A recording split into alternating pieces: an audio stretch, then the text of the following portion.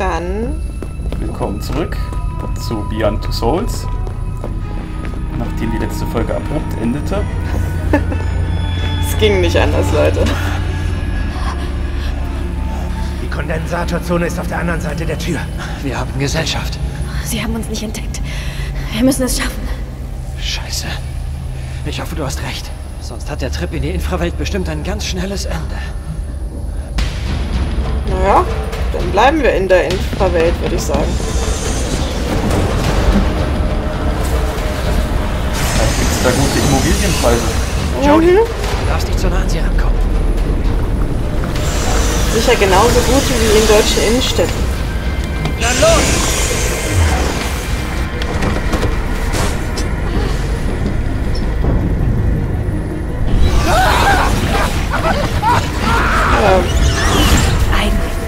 Sie uns bemerken, sind wir tot.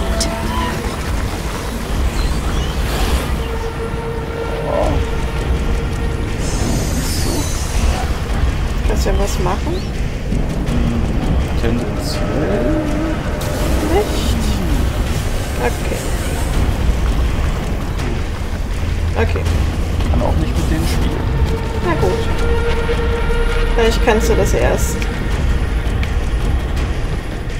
Aber da sieht er mich doch, oder?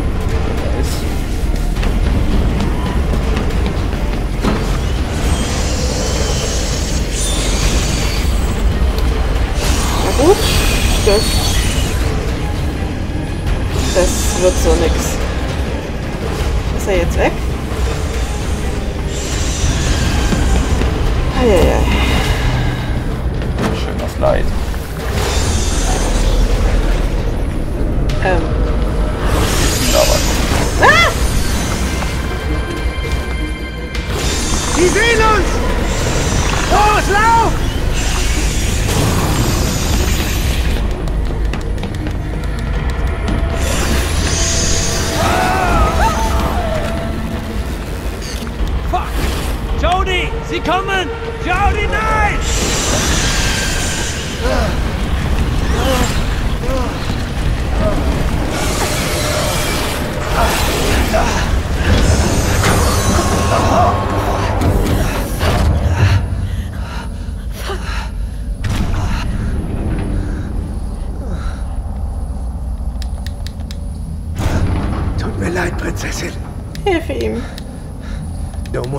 Ohne mich weitergehen.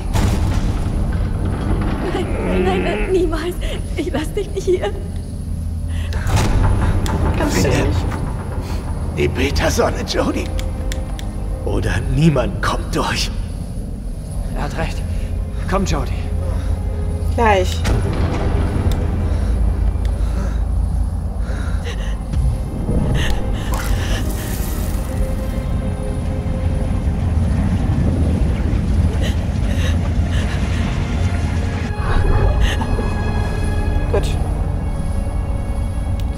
Wenigstens durchkommen. Aiden hat getan, was er konnte.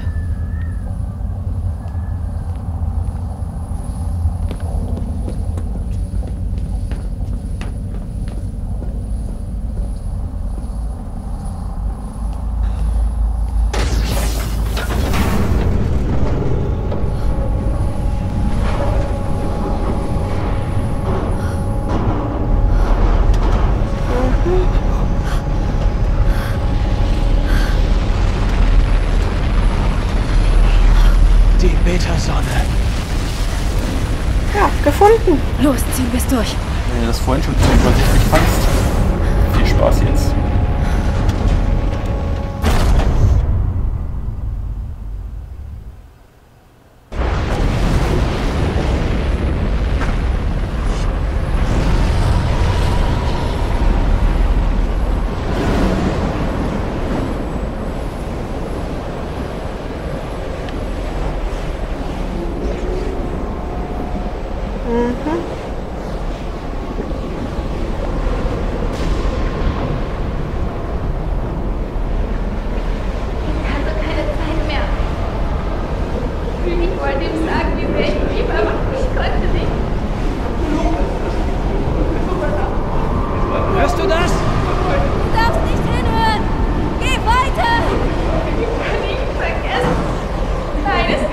Wer sind die? Seelen! Verlorene Seelen!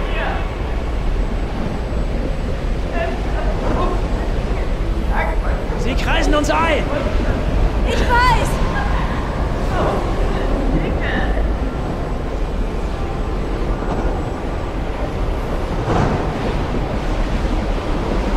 Ich habe das Gefühl, wir kommen nicht näher ran. Immer weiter. Ja, ja, ich gehe. Mein Baby. Ich suche mein Baby. Hast du es gesehen? Nein. Nein, ich.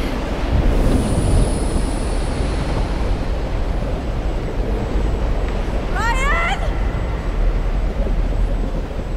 Ryan!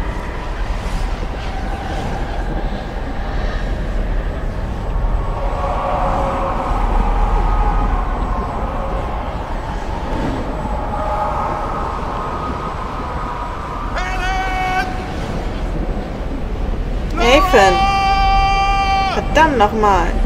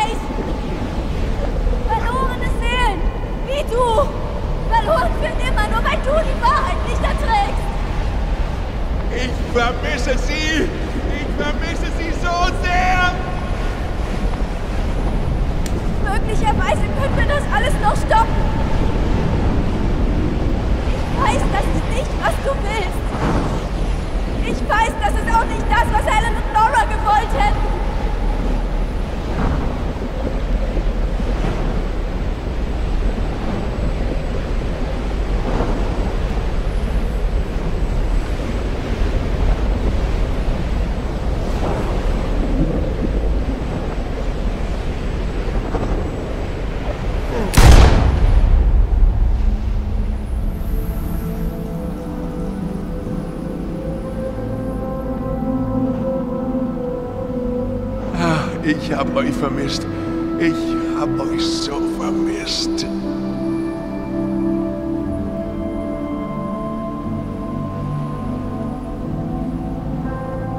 Nur du kannst das Chaos beenden, Jody.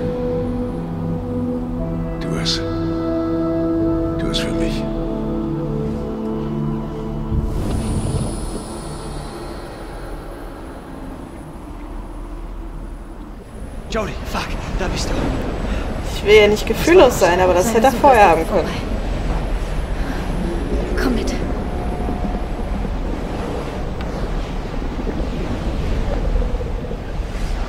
Ich finde es schön, dass er jetzt seinen Frieden gefunden hat. Aber wir dürfen die Sache jetzt wieder in Ordnung bringen. Ich weiß doch, wer immer die Drecksarbeit machen muss. Gut, dass wir das Geld genommen haben.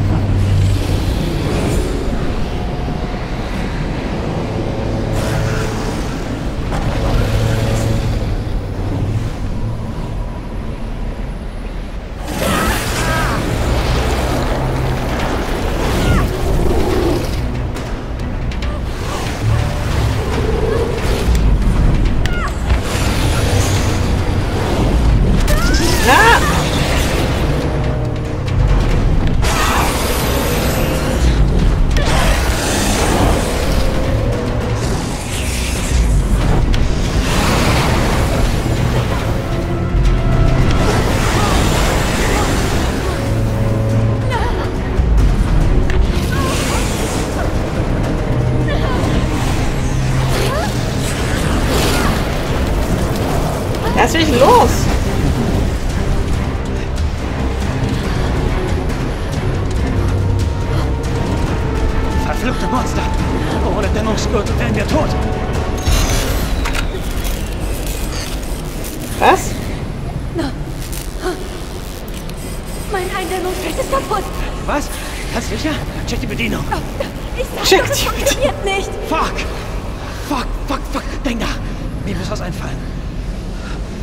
Ich weiß, was ihm einfällt. Das Dümmste, was er...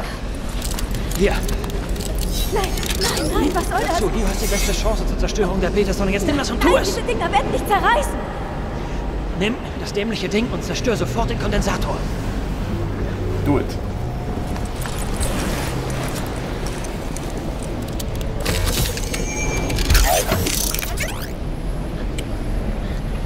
Geh jetzt, bevor ich es mir anders überlege.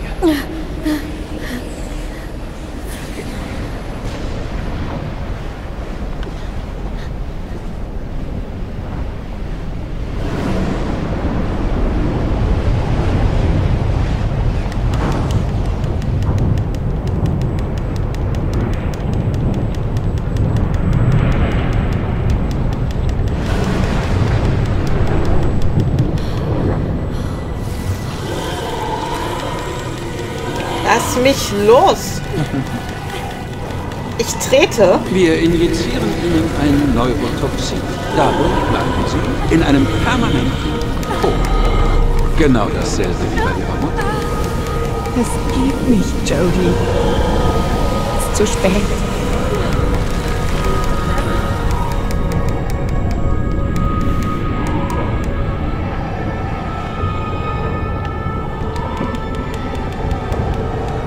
Schon.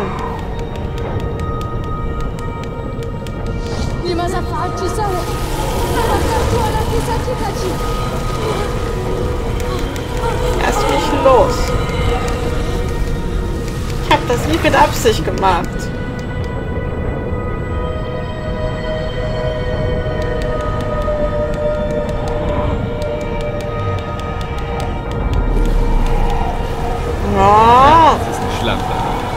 Hexe dazu.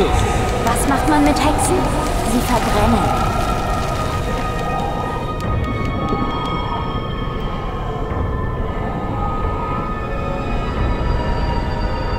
ist sie wieder ein Teenager oder was? Zumindest hat sie das Kleid an. Mir reicht's jetzt wirklich mit deinen Ausreden! Jodie, diesmal gibt's richtig Ärger! Gib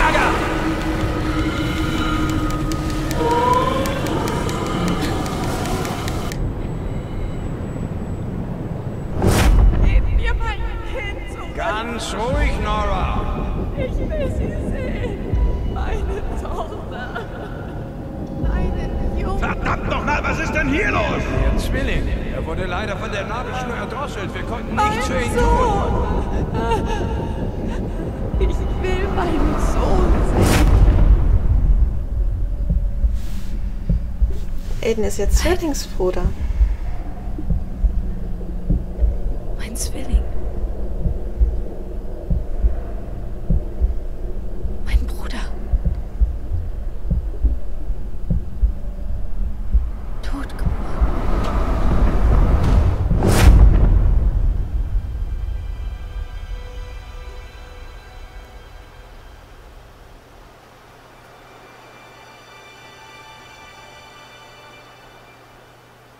Aiden.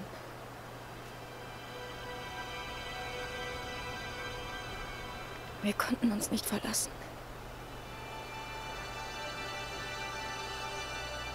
Unsere Seelen haben uns vereint.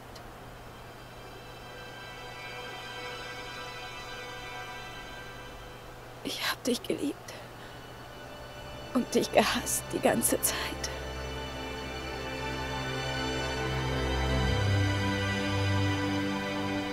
Aber du warst ein Teil von mir.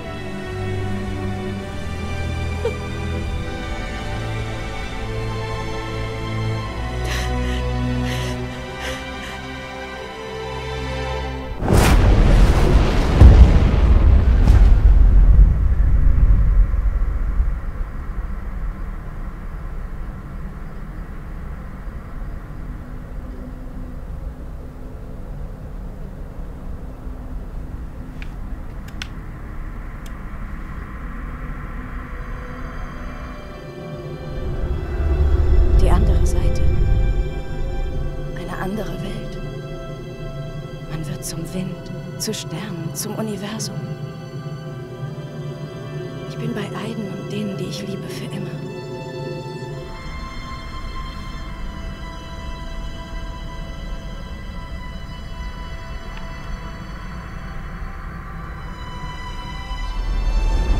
Leben, fühlen, mich verlieben. Ich liebe dich, Jodie. Alt werden. Ich liebe dich. So viele Dinge, die ich noch tun will.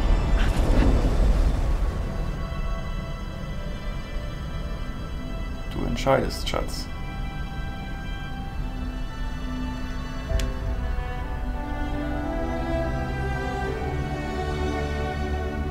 Es ist keine sonderlich schwere Entscheidung.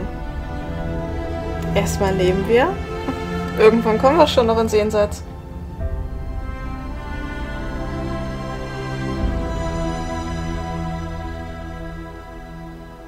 Meine, gut, sie hat schon viel durchgemacht, aber vielleicht kann sie es jetzt ein bisschen genießen, wenn das Ganze vorbei ist.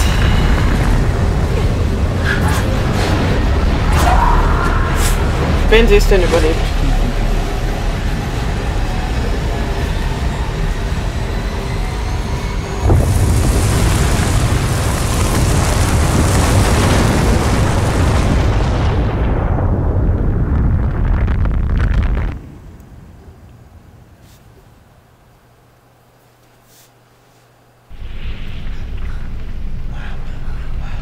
Sieht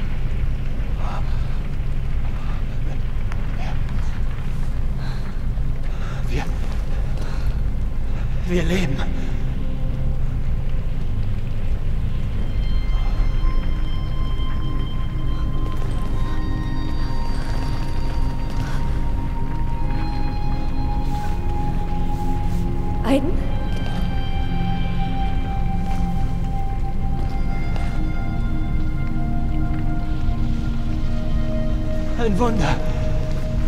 Wir haben es geschafft. Ich glaube, ich bin jetzt arbeitslos. Aiden? Ist er weg?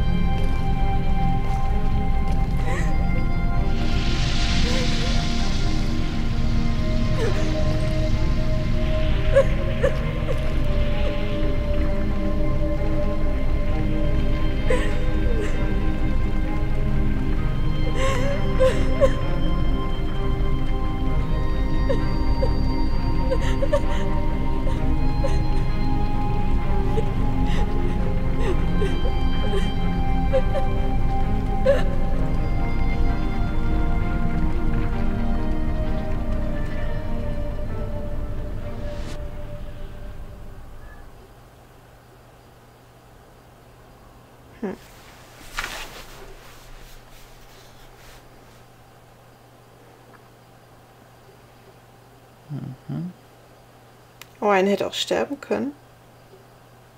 Okay. Ja, immerhin 88% haben das auch geschafft. Leben gewählt 81%. Ich meine, Dawkins überzeugt, okay.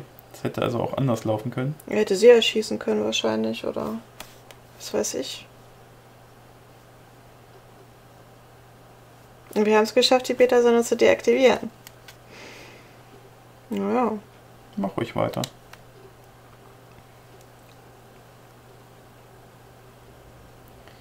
Zum letzten Kapitel.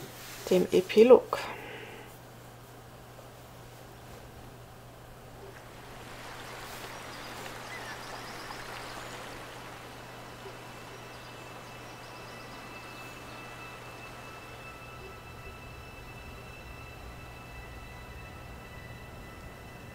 Seitdem die Beta-Sonne zerstört wurde, bricht meine Erinnerung auseinander.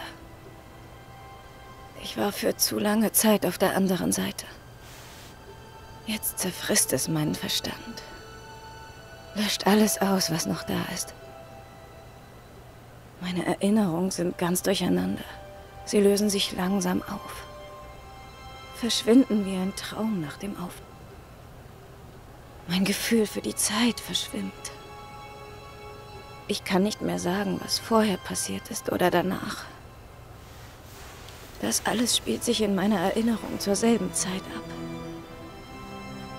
Das ist wie in einer Endlosschleife. Sie läuft immer und immer wieder. Ein Chaos aus Eindrücken ganz ohne Ordnung. Also schreibe ich Tag und Nacht seit Wochen. Versuche mein ganzes Leben zu Papier zu bringen.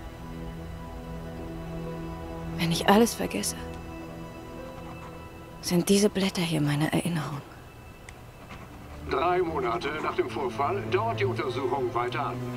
Man forscht noch immer nach der Ursache für den Unfall mit insgesamt 283 Opfern auf einer Pentagon-Militärbasis. Regierungsvertreter bestätigen, dass alle Behörden hierbei Hand in Hand mit den Ermittlern arbeiten. Zur Aufklärung dieser erschütternden Tragödie. Im Moment lässt mich die CIA in Frieden. Ich vermute, sie machen sich gerade mehr Gedanken um meinen neuen Kondensator als um mich. Ich weiß, sie werden immer weiter experimentieren. Jetzt, wo sie die andere Seite kennen. Ehrlich gesagt, ist mir völlig egal. Jetzt baue ich mein Leben auf. Mein Leben ohne Eiden. Schon solange ich am Leben bin, wollte ich immer ein Leben ohne ihn. In Freiheit, ohne dass er ständig da ist an meiner Seite. Ich hab, was ich wollte. Und ich war noch nie so unglücklich in meinem Leben. Schon fast als hätte man etwas von mir amputiert. Ich weine andauernd. Ich weiß, das ist dämlich. Shit. Ich vermisse ihn furchtbar.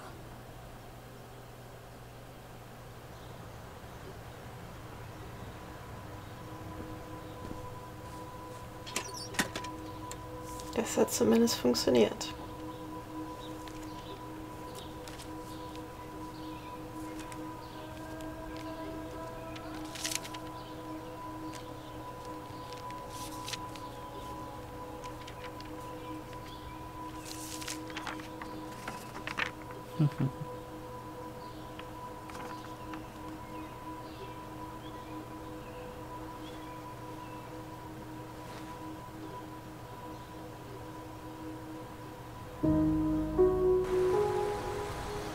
Diese Ohnmacht.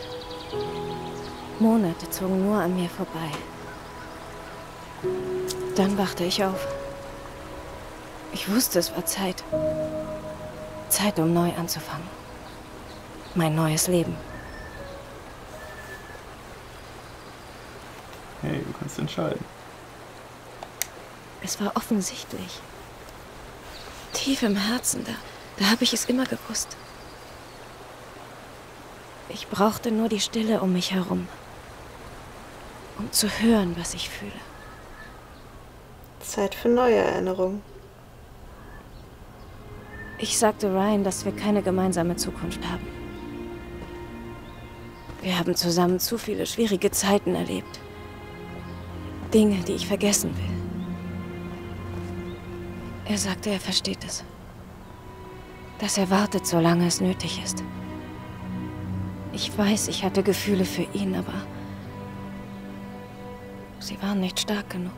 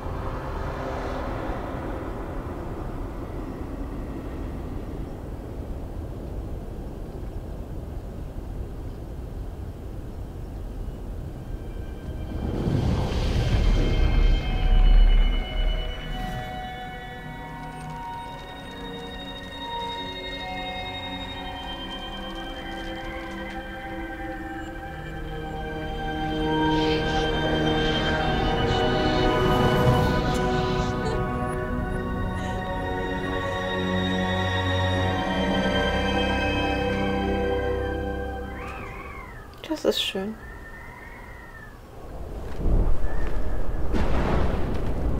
Ich sehe Dinge in der Nacht. Furchteinflößende Dinge. Ich sag mir dann, das sind nur Albträume, aber... Ich weiß, das ist gelogen. Wenn Pandoras Büchse einmal geöffnet wurde, kann sie nie wieder geschlossen werden. Nein. Es ist kein Albtraum. Es ist das, was bald kommen wird. Ich bin schon zweimal gestorben. Ich habe keine Angst mehr vor dem Tod. Aber trotzdem hätte ich diese Dystopie am Ende nicht gebraucht.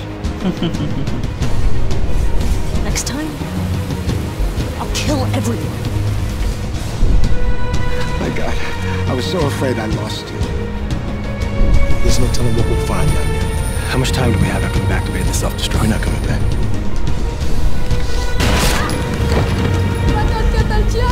Saturday night, and I'm locked up in here. Can't do it, babe. She's more than amazing. She's magnificent.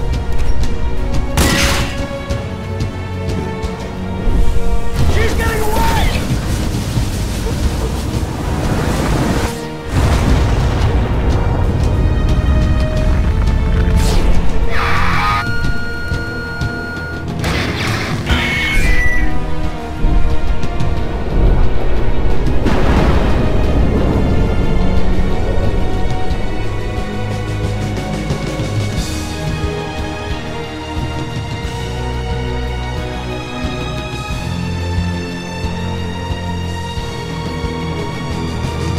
Das war doch schön.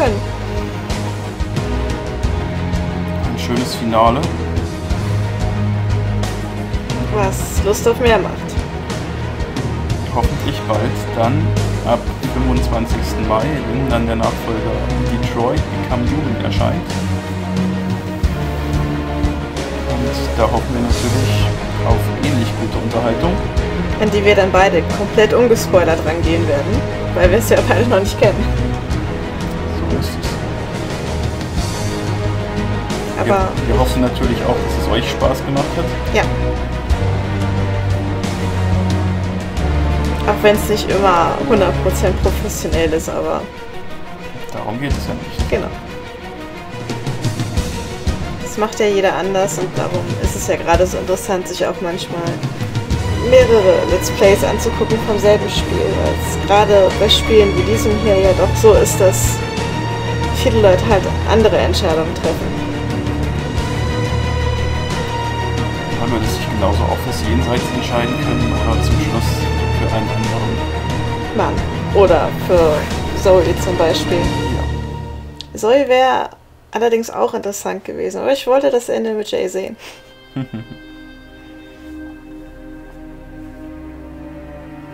Ich finde auch, dass er am besten zu ihr gepasst hat. Ich weiß nicht, Ryan war irgendwie. Sie hat ja gesagt, sie hatte nicht. Also ihre Gefühle für ihn waren nicht stark genug. Ich würde sagen, sie waren stark genug, nur im negativen Sinne. Also, Ja, letzten Endes haben die zu viele schlechte Erinnerungen. Zusammen. Das ist das Problem, die man ja nicht abschalten kann. ja.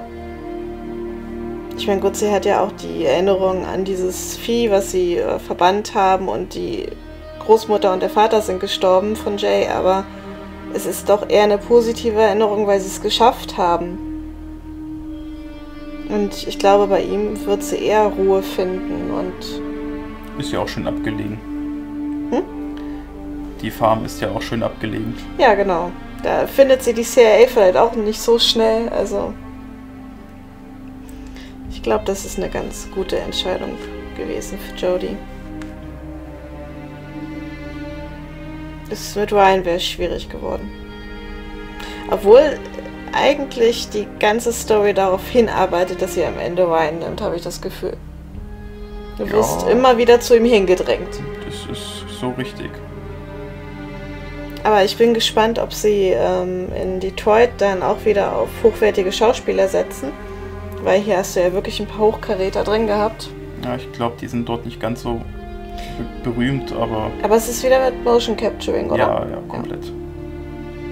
Also ich, ich mag es halt, dass sie so viel Wert auf Story legen. Es mag viele geben, die sagen, ihnen ist das zu langweilig oder wie eine Art klickbarer Film. Aber also für mich, die nicht oft Videospiele gespielt hat bis jetzt, ist es angenehm. Ich will nicht sagen einfach. Es gibt schon Passagen, die ein bisschen tricky sind. Aber es ist auf jeden Fall gut spielbar, auch für jemanden, der keine große Erfahrung hat. Und es ist halt einfach sehr emotional. Und das mag ich. Ja, mit diesen Eindrücken würde ich sagen, verabschieden wir uns für dieses Let's Play. Hoffen, ihr seid beim nächsten Let's Play dann auch wieder mit von der Partie. Danke, dass ihr so lange durchgehalten habt. Bis zum bitteren Ende. Und damit verabschiede ich mich und sage Tschüss. Ich sage auch Tschüss. Bis zum nächsten Mal. Ciao.